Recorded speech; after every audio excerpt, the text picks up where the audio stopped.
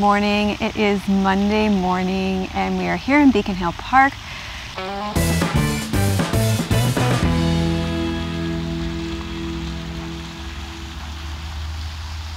to do some collaborative filming with another YouTuber, with Jeff, who you've met before. I'll introduce you when he gets here. But I've had a wonderful start to the week. Every Monday morning I get a new art lesson in my inbox from the Lifebook course that I'm doing right now. I think I've mentioned it like a gazillion times because I'm just enjoying this course so much. And this morning, uh, the lesson really touched my heart, as they often do every week. It's just, that's an amazing course. The woman, YN, who's teaching this week, um, she started by telling her story.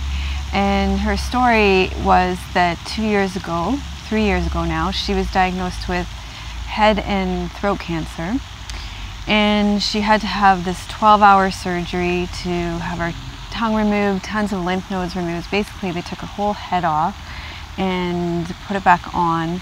And now she lives with what she calls a new normal and uh, has a feeding tube and just, I mean, an incredible story of overcoming. So her story, it really touched me today and uh, filled with filled me with profound gratitude. And she speaks about how we all have our are not normal in, a world full of differences. Or I, I've got to go back and look at what the message is exactly, and I'll put it on the screen.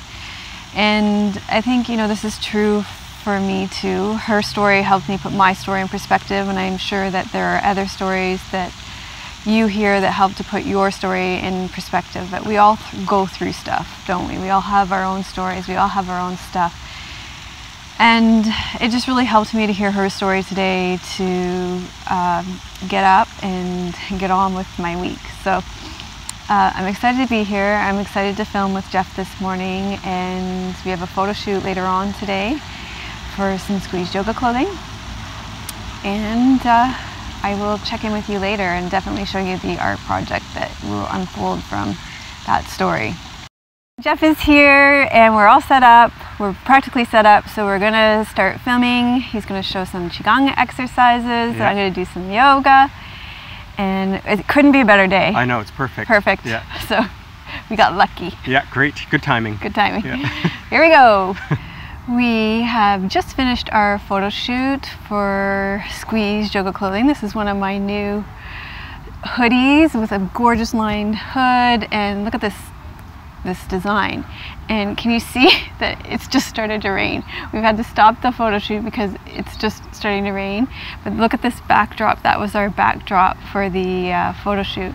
So perfect timing. We got as much photography as we could in now and it's pouring rain now. So Trudy and I are going to treat ourselves. It's really raining now. So the hair is going to be wrecked. Everything's going to be wrecked.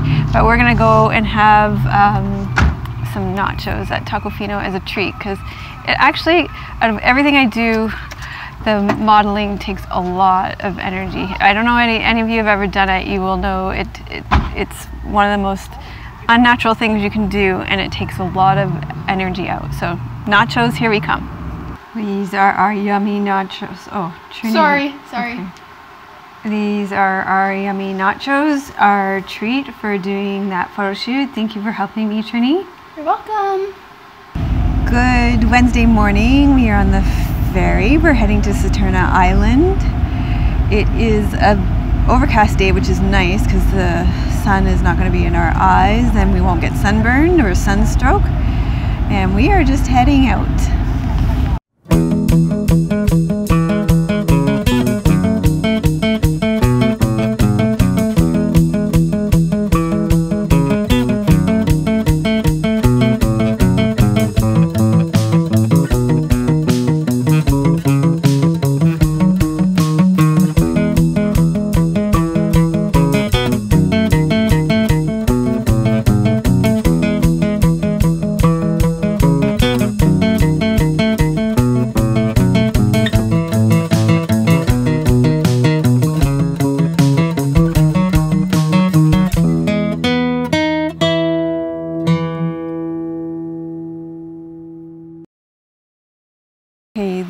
About coming on a hike with a bunch of naturalists, they know what everything is called. So this is stone crop behind me growing on these rocks. It's just beautiful. James thinks there might be an otter's den back in here because these are all otter's droppings. Oh my god, could this be any more beautiful? We've found heaven on earth, I think. It had to have been a whale. That's a whale for sure. We are moving on from this point now. We've seen some humpback whales, so I don't think it gets much better than that.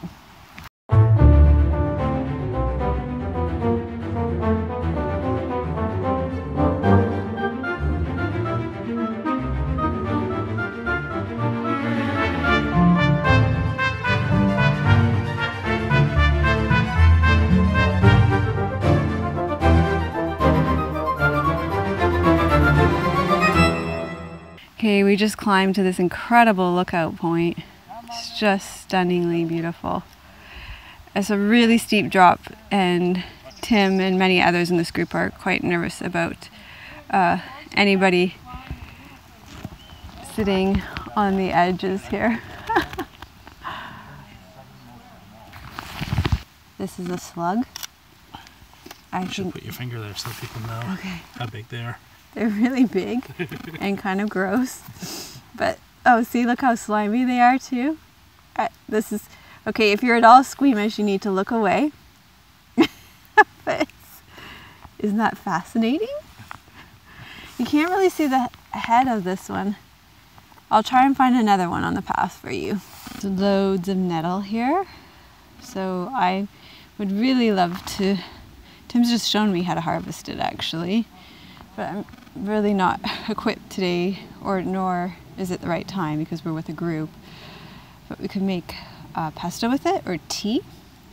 And I've learned from some people in the group today of a group that's going out on Saturday to do this kind of foraging. So I'm hoping to join them and learn how to make teas out of barks and all sorts of things. So I just thought that was really cool. There's just loads of it here we will definitely be coming back. This has been an amazing day, seeing all the whales and the deer, seals, sea lions, and just all the gorgeous scenery. We are at the gas station at Saturna Point, uh, Saturna Island. It's a roaring metropolis. Tim's getting gas. Tim's gone to figure out where to pay for this gas. This is totally cracking me up. I wish you could smell these roses. They're the flower, the provincial flower of Alberta. They smell incredible. Here we are, open ocean. We're at Clove Point now on Saturna Island. Just every step of the way has just been stunning today. We've had the most wonderful day here. Just beautiful scenery all around check out this cool place. We're gonna go see what she has. So I ordered a nettle matcha latte. Mm-hmm. So remember I showed you those nettles earlier. This latte is seriously made from those nettles. How freaking cool is that? And it's delicious. Just a lovely treat. I thought maybe I could recreate that nettle latte that I had on Saturna Island. So one of the ladies told me where I could buy ground nettle, but I thought, hey, I have nettle. Wonder if I could grind it myself. So I got my Blendtec out this morning and I put some nettle in it and I was able to grind it down fairly well. I just ground a little bit to see. And then I warmed up some I'm going to show you how to make it from start to finish. I just want to test it this morning. I actually think I made a better nettle latte than I had on the uh, on Saturna Island. Uh, so I I made I warmed up some almond milk and agave, and I would recommend putting in a little bit of coconut oil just to make it taste more rich, and uh, vanilla. And then I put in the ground nettle about a teaspoon. I'll, I'll, show you how to do all of this. And then what I did was I worded up in the blend Blendtec so then it, the nettle's really nice and fine and also then you get that froth on the top. So it turned out delicious and now I can make nettle lattes at home. So you're probably wondering why you would want to drink uh, nettle. Well, it's got a really high mineral content. It's one of the best herbs you can drink. It nourishes the whole body, boosts your immune system, supports your urinary tract, your nervous system, your respiratory tract, your digestive system, and your endocrine system. It helps to fight colds, loosens congestion, and it opens your bronchial airways if you have asthma or allergies. It counters arthritis, rheumatism, tendonitis, uh, helps with muscles and joints. Uh, it helps to reduce blood sugar levels and it's a natural diuretic and it helps to lower blood pressure. So it's one of those cure-all herbs. So it's a great one. It's just very strengthening for your whole body. So it's one that I like to uh, include in my um, herb repertoire. Hello, it is Thursday morning and we are filming in Beacon Hill Park. We're filming Namaste Yoga. We were at Saturna Island yesterday, as you will have seen from the endless video footage that I took there. And we, I just set up and we just ran into Dale. For those of you who watched the Moss Lady vlog, I'll link to it in the show notes if you hadn't because it's, it's amazing. I, uh, there's a moss lady in the park here, just over that way. And uh, Dale is one of the creators of the Moss Lady, and uh, we just ran into him. He's a gardener here.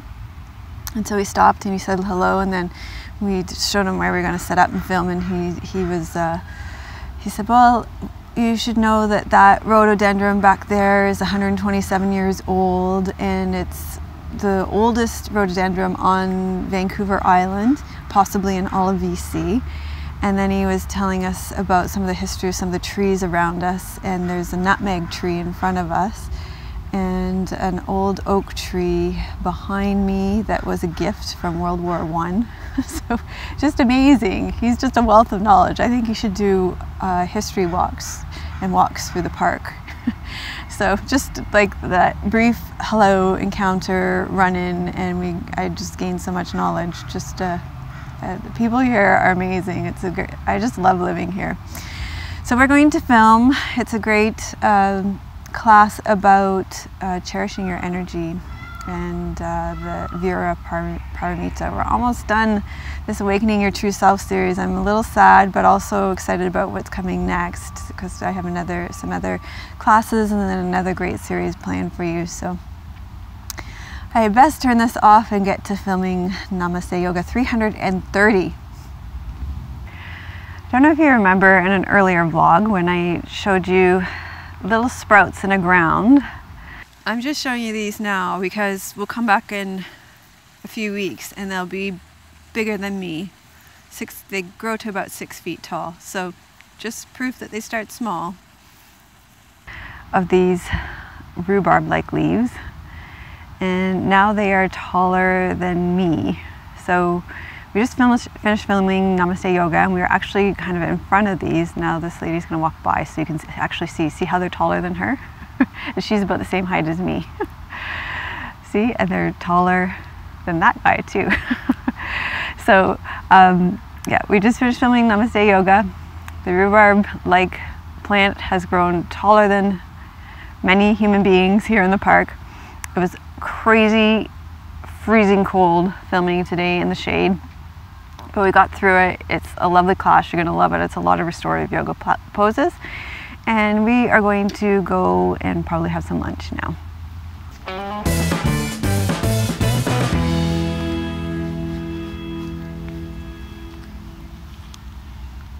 Hello, dear heart. Beautiful buck. Just going to do male time. And look at this gorgeous buck right here at Beacon Hill Park. Okay, so it's meal time. We just went to the post office box and we had to go somewhere else to pick up these parcels too. But this is a postcard from Donna and she said, it's written this way. So, Dear Melissa, I just finished 327 on patience. Thank you for a great class and a visual treat. Did you sense any nature spirits when you were filming? Hmm. People say they like it when I get personal, so actually I do Okay, you're gonna. Some of you are gonna be like, "Woo!" now, but I do sense fairies around me sometimes when I film. Tim is laughing at me, but I actually I do sense energy around me when I film. Sometimes um, I see them as a little swirling energy. So there you go. Um, she said, I kept expecting one to pop into the frame at any second. So I'm curious how Donna would see them or what that would look like for her. The sea, the seals in calm water were lovely and relaxing too. That so that's at Gulf Islands National Park, and that's one of my favorite places to film because it's just so amazingly calm there. She says, "Thank you for the valuable work you do and for sharing with all of us. Peace out, Donna P." so thank you. What a gorgeous. This is from Kansas. What a gorgeous landscape there.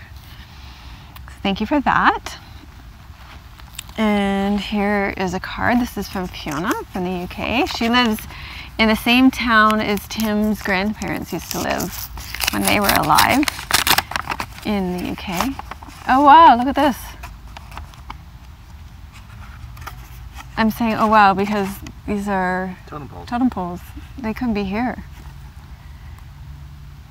Oh, she said, thank you for a lovely pampering kit. Fiona is one of the leaders in our membership community, and I sent some of our leaders uh, some gorgeous skincare from Jane Allen, who's another member in our community. She, she has an Etsy shop that, and she makes some amazing homemade skincare products, and I am uh, waiting, patiently waiting for some of mine to arrive too from the UK.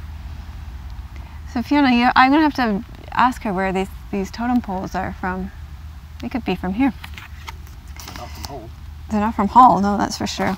I had to show you this because I just Tim and I just stopped at Michael's on the way back. This is going in an art project. that was 50% off. You know how they have those 50% off coupons. Okay. I know this knife. I don't find it so easy to use as you do, honey. This is from Jen Ashton, just across the pond. When I say across the pond, I mean, oh my God, Jen! This is from Jen. She lives in North Vancouver, so when I say across the pond, it's a ferry right away. I'm freaking out because look at Jen's done a meditation deck of her artwork. She's mentioned she was going to do that, but man, Jen, you work fast. She mentioned that like, oh my God, Jen. Oh Look at, okay, this is Jen's artwork on her card. Jen, oh my God, you're freaking me out. She said, I'm so happy you shared your Oracle card collection. I'd never seen them before and it inspired me to make my own version. I hope you like them and will add them to your shelf. And she says hi to Tim and Trinity too. Oh my God, Jen. Hi, I- Jen. I can't wait to. I go crazy. This is going on my spring altar for sure, Jen. I don't want to wreck these. Oh, okay, I got into them nice. Look at the back, Jen. I'm freaking out. I am not so bonkers crazy about Oracle decks, and I've given, I've cut myself off from purchasing them. But so this is like oh, so special. Oh, now there's more plastic. You guys have no idea how I love the shape of them and the size. Look. Can we open those when we get home? No, we have to look at them now. Oh. Jen, these are gorgeous. Oh, look at these. Oh my God, look. Oh, the bird. Oh, Jen. Jen. I'm freaking out. They're, they're incredible. I love them. Oh, look at this. Okay, you need to give me a link so I can put the link in the show notes. I'm gonna, I'll email you when I get home. Oh my God, I cannot wait to do daily draws with those. Thank you, Jen. Okay, you guys know I've been doing interviews again, and I'm pretty sure this is from Shambhala, even though it says it's Penguin Random House. Uh, they maybe there must be a division of Random House. And uh, so they're sending me some books of some authors that I've wanted to interview. So let's take a look at what they sent me. Oh my gosh, look at all this plastic. Yuck. Mm. Okay, so this is Moving into Meditation by Anne Cushman. I interviewed her a few years ago. She was the uh, editor of Yoga Journal, and she wrote a novel a few years ago, so I'm looking forward to reading this. Oh, this book I've been looking forward to. Tim, we can read this together. Breathe through this. Mindfulness for parents of teenagers. I'm really looking forward to reading this and interviewing her. And then um, You're Not What You Think The Egoless Path to Self Esteem and Generous Love.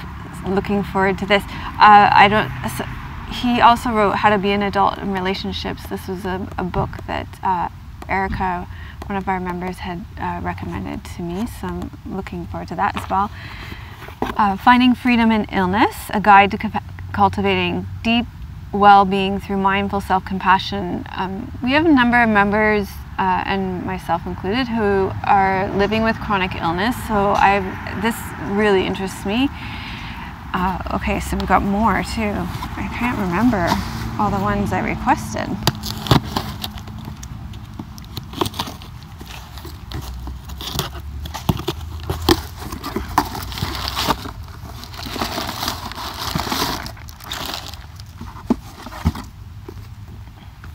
Oh, I, yeah, this one. Yoga for the subtle body. So that is, should be interesting too. And a guide to cultivating mindfulness in every day when awareness becomes natural. So very much looking forward to reading these books and interviewing the authors. So that's mail time today. A great haul. Thank you everybody for everything you've sent, especially to this is uh, Shambhala. Shambhala is a fantastic publisher. Thanks so much for coming along behind the scenes with me this week when we filmed with Jeff and Namaste Yoga. Going to Saturna Island was so much fun. I look forward to more adventures like that. And it's always fun to hear from you when you leave comments in the blogs, but especially getting real live uh, mail. So mail time is always so much fun. So I hope you're having a great day wherever you are and I leave you with these gorgeous rhododendrons from Victoria, BC, another gorgeous day in Victoria, BC. Your presence here is very much appreciated. Namaste.